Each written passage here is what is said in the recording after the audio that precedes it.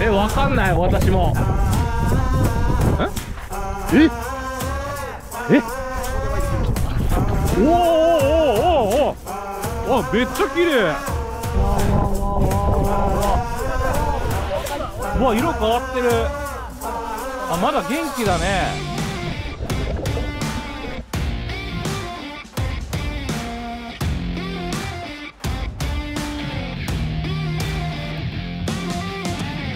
はい、水中動画チャンネルです。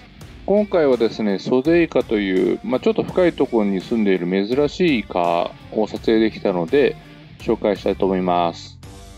後半ではですね、撮影方法の注意事項等も説明してますので、最後までご覧になってください。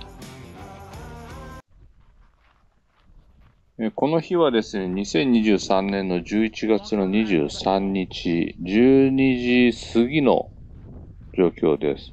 浜にね、人が集まってたので、ちょっと行ってみました。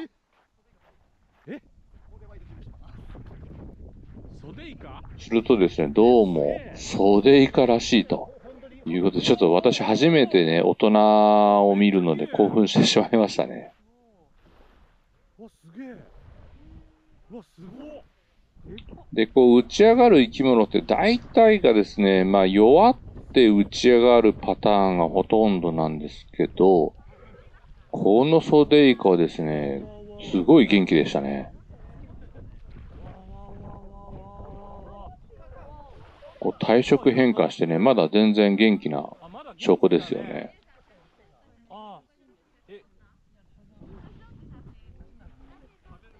まあ、炭も入ってますよね。ちょっと私興奮しちゃってるんで、すいません。多分だけどどうせ死んじゃうからで、皆さん珍しいのでこう撮影してると。まあ、オスだとね、こういう光景はよくある感じで、珍しいのが上がるとみんなで観察するみたいな、ちょっと楽しいイベント的な感じです。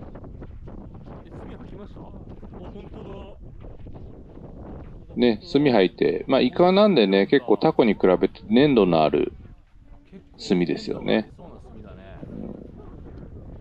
この身内が際ではですね、まあこう、あまり散らないという感じです。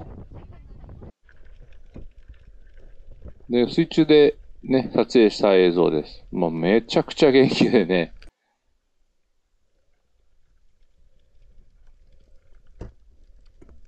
うん。まあ当日日の光も入って、朝はね、透明度そんなすごいよくは良いというわけじゃないんですけど、綺麗でしたね。うん。でどうしてもね、元気なんですけどね、なんかね、朝場朝場に行こうとしちゃってね、それがなかなか大変でした。はい、ちょっと今度、スローモーションにして。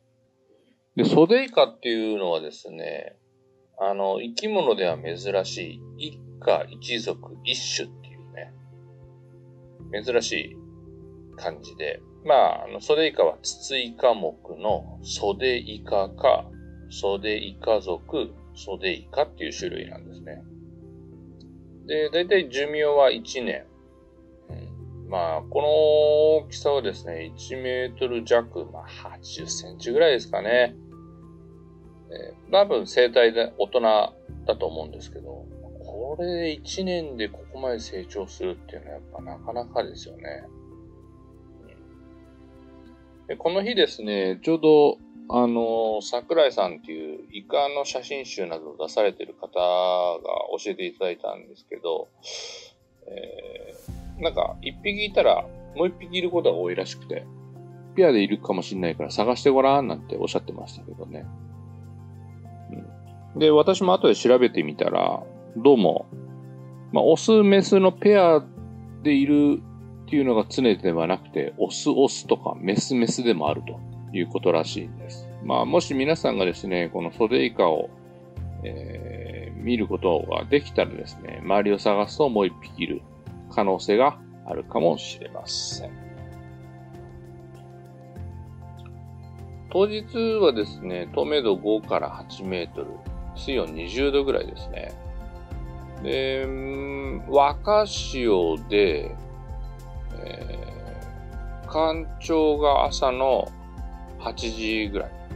潮位が62センチで、えー、満潮が14時半で150センチ。ちょうどこの時は、まあ、干潮から上げ潮ですね、上げてる時で、まあ、当日の潮位差は90センチぐらいで、まあ、若潮なんでね、そんなに激しく潮が動いてるわけじゃないんですが、まあ、若潮っていうのはこれからだんだん潮が動くよっていう日が多いです。はい。で、この、まあ、イカのエンペラーが、まあ結構ね、立派で、逆光で綺麗でしたね。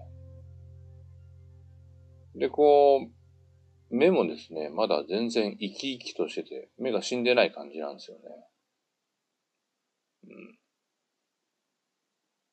なんかね、象の目みたいに見えましたね、私。水中で撮ってる時に。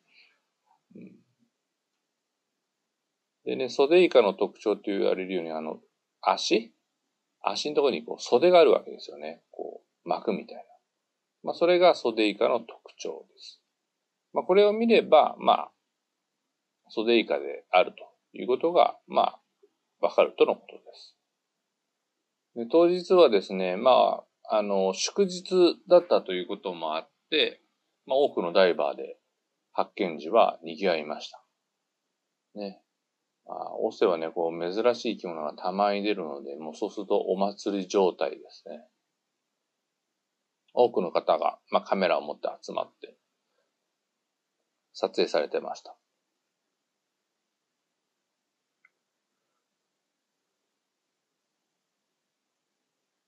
で、前日に、ん？前日じゃないか、次の日か。次の日にはね、シギウナギっていう、まあ本当に深海生物が5匹ぐらい打ち上がってたりしたので、まあちょっとね、この撮影した前後の辺で、確かに冷たい潮も上がってきたんで、なんかまあそういう深場から潮が上がってきてたのかもしれませんね。はい。で、ちょっとね、撮影する上でのちょっと注意事項を話します。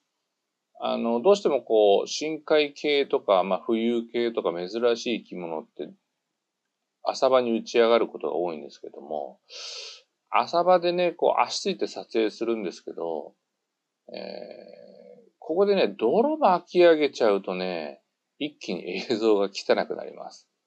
ね、この映像もちょっと緑っぽく、まあ、なおかつ泥が上がってますよね。なので、こういうあの、珍しいのが浅場に出た時に注意するのは、砂を巻き上げないっていうことを覚えておいた方がいいです。はい。はい、今回は、ソデイカというイカを紹介しました。はい、オセはね、たまにこういうのが出て本当ありがたいなと思って、都自然に感謝ですね。また皆さん、教えていただいた皆さん、一緒に撮影した皆さん、どうもありがとうございました。はい、今日は以上です。